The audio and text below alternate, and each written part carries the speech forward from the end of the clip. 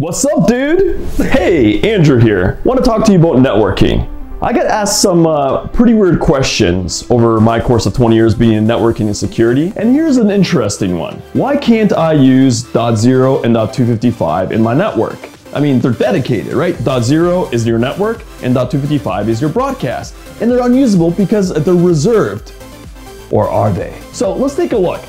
First, I want to do a little bit of a review of what these numbers actually look like.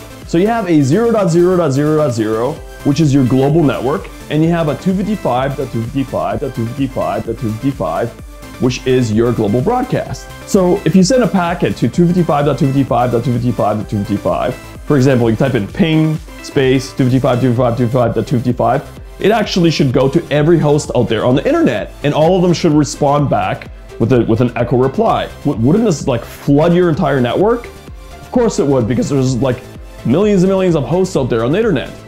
But luckily, routers nowadays don't by default forward these packets or forward these broadcast packets out unless you specifically configure them to do that. So you're going to be limited to your local network if, uh, if you ping that address or you send packets to that address.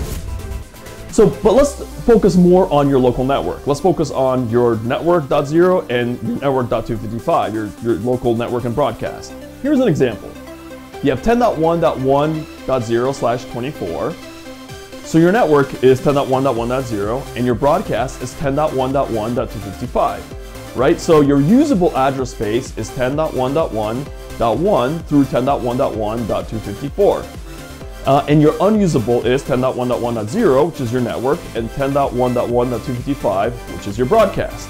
So let's take this and change this a little bit. Look at this network over here. So this is 10.1.1.64 slash 26 is your subnet mask, uh, which is 255.255.255.192, and which means your broadcast is 10.1.1.128. So you have a usable range of 10.1.1.65 to 10.1.1.127, and your unusable is 10.1.1.64 and 10.1.1.128. So keep that in mind that your unusable in this case is .64 and .128. But if we take this network and we change the subnet mask from slash 26 to slash 24 and increase it, we're basically changing it back to our previous network. We're changing it to 10.1.1.0 as your network and 10.1.1.255 as your broadcast because you have a much bigger range to work with. Which means that your usable range is now back to 10.1.1.1 up to 10.1.1.254, which includes 10.1.1.64 and 128. Now previously before we couldn't use those because those were network and broadcast, but now all of a sudden they're usable just by changing the subnet mask. Well, what now? What if we take this network and we change the subnet mask yet again and make it an even larger network. So let's change our subnet mask from slash 24 to a slash 22. Now this changes our network and our broadcast. So now our network becomes 10.1.0.0 because we have to move it over. And then our broadcast becomes 10.1.3.255. We have a usable range of 10.1.0.1 up to 10.1.3.255. Now this range includes 10.1.1.0, 10.1.1.255, 10.1.2.0, 10.1.2.255, and 10.1.3.0. So it includes five IP addresses that have either .0 or .255 at the end of it now that you could actually use as hosts. That means that you can actually use .0 or .255 if you use the proper subnet mask.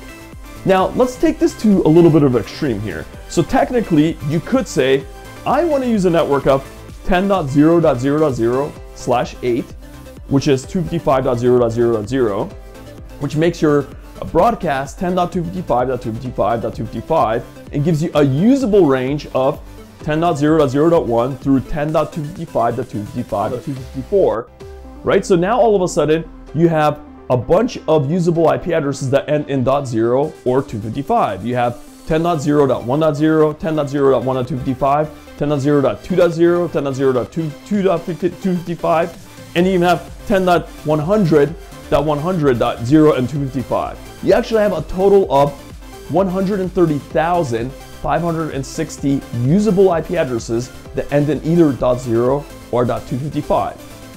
Isn't that crazy? So you can set up your network having all .0s or .255s at the end of it, and it's gonna be completely up to standard, it's gonna be completely legit. Now, please don't go out there and start using a slash 8 for a small network of 50 or 100 hosts, uh, because people will not like you when you try to set up a VPN with them. So stick to the normal, stick to your slash 24s whenever needed, but this is this video is just made to let you know how IP subnetting works, that you can use .0, .255 if you have the proper subnet. If you like this video and you found it informative, please subscribe. Leave any comments below if you have any questions.